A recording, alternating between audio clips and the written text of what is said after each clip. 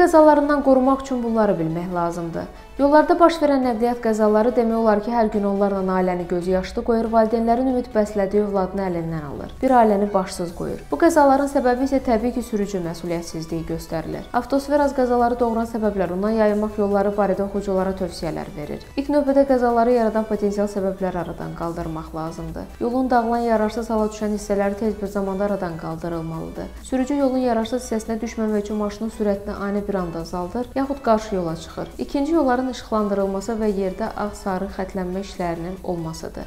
Demək olar ki, yolların çoxunda yoxdur, yaxud varsa da artıq pozulmaq üzrədir. Bu xəttlər sürücünün diqqətini psixoloji olaraq yolda saxlayır və diqqətin yayılmasının qarşısını alır. Əsas məqamlardan biri sürücülərdə yol vermək mədəniyyətinin formalaşmasını təmin etməkdir. Təəssüf ki, sükan arxasında oturanların çoxu yol mənimdir, mən sürməliyəm düşüncəsi ilə maşını idarə edirlər. Hətta maşını vursa belə yol vermir ki, yol onundur. Əgər başqa sürücü sənin yoluna qəsdən girirsə belə, yenə yol ver, qoy girib getsin. Yol vermək lazımdır, əsəbləşib üstünə sürmək yox. Ümumiyyətlə yol ayrıcına istər qaydanı pozub, istərsə də pozmayıb girən maşına yol vermək lazımdır. Həm piyadalarda, həm də nəqliyyat vasitələrində yol vermək mədəniyyətinin formalaşması baş verən qəzaları azaldar. Nərmin Əkbər, Avtosferaz.